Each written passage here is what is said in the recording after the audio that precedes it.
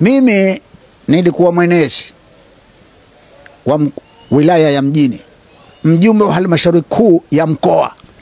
Wakati wa rafiki yangu eh, mwenyekiti wa mkoa aliyeondoka, sasa hivi kuna mwingine, mbunge wa Rahaleo, mbunge wa jimbo la Kwahani, hata siku moja hakuja kufanya uchaguzi wa shina, tawi, jimbo, wadi, mkoa, mpaka ngazi ya mkoa hakuja hata siku moja.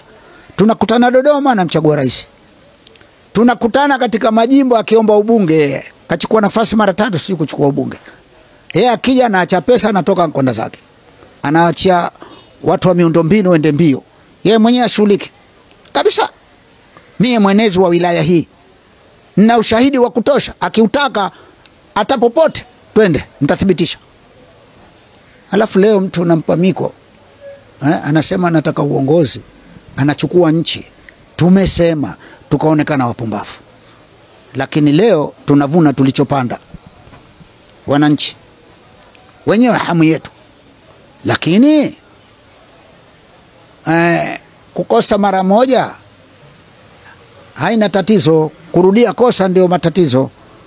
Miaka mitano inakwisha. Katiba ya Chama cha Mapinduzi wala katiba ya nchi haijasema kwamba head of state atawale miaka kumi. Hakuna kwenye katiba. Haya ni ridhaa ya wananchi, na wananchi ni ridhaa ya chama. Chama cha Mapinduzi kikiwa makini, itakuwa kama Idris Abdul Wakil, katawala miaka mitano, bwana, utupishe njia, tutafute rais ambaye atatufaa. Mimi nasema hilo mpaka kwa mdomo, nasema wazi wazi, mimi kama Baraka, yeye sikumpa kura na kwa tabu, nkalazimishwa ndo nikapiga kura. Na nilifanya nini? Nilikiheshimu chama tu, lakini ili kutuwekea mlango wazi, ah, miaka mitano ikisha, bwana, tutafute rais mwingine, lakini sio huyu.